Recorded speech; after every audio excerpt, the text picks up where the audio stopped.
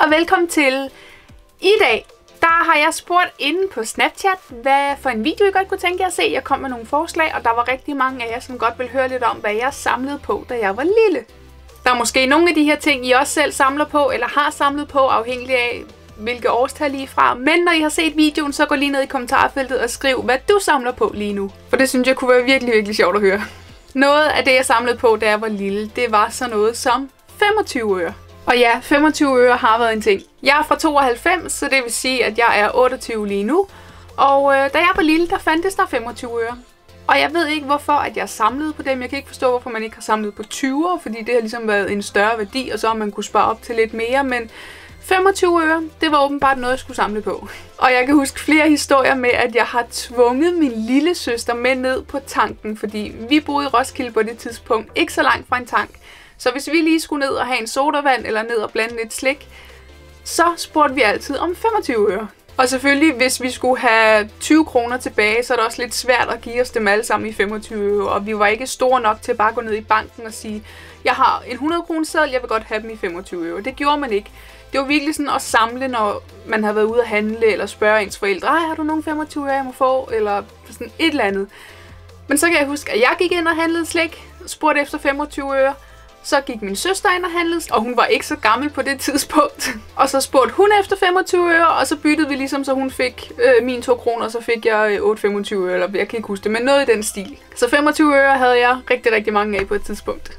Noget andet, jeg samlede på, det var bamser. Jeg har altid været rigtig, rigtig glad for bamser. Jeg har selvfølgelig ikke nogen bamser nu, eller måske så har jeg nogle stykker. jeg har altid haft mange bamser, da jeg var lille, og faktisk en af dem, jeg lige holdt op. Hende her, hun hedder Huni. Hun er faktisk en, øh, en hånddukke, så man kan styre hendes, øh, hendes små poter. Hende her har jeg haft siden jeg blev født, og hende skiller jeg mig aldrig, aldrig, aldrig, aldrig nogensinde af med. Hun er mit lille barn. Men tro mig, altså fødselsdagsgaver, øh, julegaver. Vi har altid fået bamser, mig og min søster. Jeg har ikke rigtig brugt bamser. Jeg kan ikke huske, at jeg sådan har ligget og sovet med en, men fordi uh, de er så flotte i, de er så bløde, så har jeg altid bare synes, at de skulle bare sidde og pynte. Og det gjorde ondt, hver gang jeg skulle smide nogen ud, fordi jeg tror, at det blev så slemt på et tidspunkt, at de ligesom sagde, okay, hvis du skal have en bamse, så skal du også skille dig af med en bamse. Og det er man bare ikke interesseret i, når man godt kan lide bamser. Mor og far, vil jeg bare lige sige. Men jeg har også haft rigtig, rigtig mange bamser som voksen, fordi nogle af jer ved, at jeg har arbejdet i bilderbager, hvor den her blandt andet er fra, den her blandt andet er fra, den her blandt andet er fra, og den her blandt andet er fra. Og jeg har haft mange flere, men nogle af dem har jeg simpelthen givet til genbrugen, eller har øh, solgt, eller bare smidt ud, fordi at jeg bruger dem ikke. Og igen, jeg er 28. Skulle man måske lige lad være med at have bamser over det hele. Så her for et par år siden, der havde jeg bare sådan en bamseoprydning, hvor jeg virkelig kun beholdt dem, som, ja, som jeg gerne vil beholde. Jeg kan ikke huske, hvor mange jeg har smidt ud, men det var rimelig mange. Men altså, dem her jeg viste før, de bliver i hvert fald for nu. Og især huni. Også fordi jeg er sådan en, der tænker, når jeg engang selv får børn, så kan de jo få dem. Og altså, det er jo ikke fordi, at den her, den skal sidde på en hylde og kigge på mig hele tiden. Men helt ærligt, det er, den er så blød, og det er bare sådan en kærlighedshund, og den er så dejlig. Og den her, det er sådan en Halloween en, og den er også lige så blød, og jeg synes bare, den er så sjov, selvom at... Ja, den bliver også. Men det er nogen, mine børn engang kan få, fordi så kan jeg beholde dem, men give dem væk, så det er ikke mine. Dårlig undskyldning. En anden ting, som jeg gik rigtig, rigtig meget op i, det var klistermærker. Jeg ved ikke, hvor mange der samler på klistermærker i dag, men det var virkelig bare altså noget af det hotte. Klistermærker og glansbilleder. Glansbilleder var jeg også bare altså totalt inde i. Og det var også noget, hvis vi skulle op og handle, og så havde jeg altid mine penge med, og så kunne man lige købe sådan et øh, uh, glansbilledsæt og sætte i sin mappe, og kunne man tage det med hen i SFO'en og bytte med dem, der havde med. Så havde vi sådan nogle byttedage, hvor vi både havde glansbilleder og klistermærker med, og så galt det bare om at bytte så meget som muligt. Altså, det var virkelig Altså, jeg savner virkelig de gode gamle dage. Og jeg havde sindssygt mange mapper, altså både med klistermærker og med glansbilleder. Jeg tror faktisk, jeg har dem ude i skuret endnu.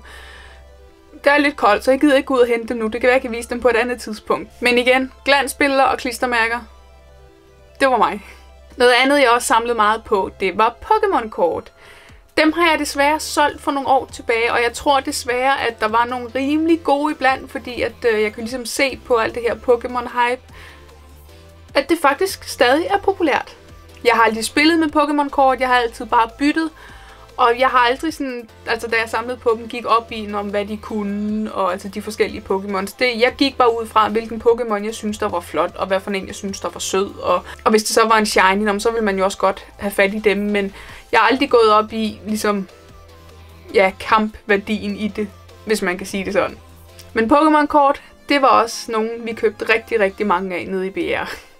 Udover Pokémon-kort, så samlede jeg også på Spice Girls-kort. Det var nogen, man kunne få på tanken på et tidspunkt. Jeg var en meget stor Spice Girls pige. Jeg havde Spice Girls tøj. Jeg havde Spice Girls plakater, som jeg havde fået af tandfen. Og det var sådan noget fredag eller lørdag aften, når vi skulle ned og snolle lidt på tanken, så fik vi altid lov til at købe nogle af de her pakker med kortene i. Og det var sådan almindelig fotostørrelse kort. Det var ikke de der små Pokémon kortstørrelse, men altså et rigtigt foto. Min søster samlede også på det i en kort periode. Jeg tror ikke, hun var lige så meget inde i det som mig, men vi havde selvfølgelig den her samlermappe. Og jeg formåede at få alle kortene i første serie. Hvis jeg husker rigtigt, ikke hænge mig op på det, men så havde de to serier af Spice Girl kort. Så jeg havde øh, en blå mappe, og så mener jeg, at den anden var sådan lidt hvid i det. Dem øh, nåede jeg så ikke at samle så mange af, men øh, første serie af Spice Girls kort, det var bare yes. Og det var også nogle, vi øh, byttede med hende i, jeg tror det var med i børnehaven, vi byttede med dem der. Men ja, Spice Girls, det var også mig. Så er der den her, og det er en meget, meget mærkelig ting. Altså, jeg kan ikke forstå, hvorfor jeg ikke bare har samlet på servietter eller et eller andet. Men mig og en af mine veninder fra skolen, vi samlede på karamelpapir. I ved, de der karameller, som øh, 9. klasserne smider ud på skolen på sidste skoledag. Det samlede vi på. Og jeg kan huske, på det tidspunkt, der var der ikke lakridskarameller. Men da de kom, så blev de ligesom de sjældne for os. Så jo flere sorte indpakninger vi havde, jo bedre. Og det var ikke nogen, vi byttede med eller noget. Det var bare sådan, dem havde vi bare. Og jeg ved ikke, hvor mange jeg nåede op på, men jeg tror, at det var en del, fordi ja, vi købte masser af karameller bare for at have indpakningen liggende. Altså, meget mærkeligt, men øh, det gjorde mig og en veninde, der hed Ditte. En anden ting, jeg også samlede lidt på på et tidspunkt, det var spargris. Jeg har altid været en, som fra helt lille godt kunne lide at sidde og tælle penge. Altså, hvis jeg havde fået øh, mønter i julegave, eller fødselsdagsgave, eller et eller andet. Altså, jeg kunne sidde og tælle dem hver dag. Havde dem i min spargris selvfølgelig. Tog dem ud, lagde dem alle øh, 50 ørerne, alle 25 ørerne, alle 10'erne, alle 20'erne, bla bla bla, og så sidde og tælle dem. Jeg ved ikke hvorfor, men jeg har altid godt kunne lide at tælle penge. Og det betød jo selvfølgelig også, at når jeg så en herresød spargris, så skulle jeg bare eje den. Og jeg tror, det ligger lidt i familien, fordi min far har også et eller andet med sparegris. Sparegrisen er jeg kommet væk fra, men jeg har lige en stor derop, lyserød gris. Skal jeg lige hente den, så I kan se den? Det er den her, jeg har tilbage. Og der er en lille smule i, men den her, der kommer jeg ikke bare alle mønter i, fordi igen, jeg kan godt lide at tælle penge, så mine penge ligger et andet sted, som ikke er i en sparegris, men bare sådan en lille kiste. Når jeg så en dag sidder og tæller penge, og jeg så har et rundt antal, altså hvis jeg har øh, 100 kroner eller 200 kroner, så kommer jeg dem i, fordi så ved jeg, at det er et helt antal, der ligger i den her. Så er det ikke, der ligger øh, 487,5. Altså så ligger der 400, 500, 600 eller 700, eller hvor meget der nu ligger i. Så den skal fyldes op. Det kommer nok til at tage noget tid, men det er min lille øffer. Men det var nogle af de ting, jeg samlede på som lille. Husk at skrive ned i kommentarfeltet, hvad I har samlet på, hvad I måske har samlet på, og hvad I måske godt kunne tænke jer at samle på. Jeg håber, I kunne lide min video. Hvis I kunne, så kunne I også lige nede i kommentarfeltet skrive, hvilke andre videoer I godt kunne tænke jer, at øh, jeg filmede. Måske noget også fra min barndom, nogle andre ting fra min barndom, I gerne vil vide noget mere om. Og så husk som altid, I er skønne, I er dejlige, kæmpe kys og kram til jer alle sammen. Og så håber jeg, at vi ses i min næste video. Hi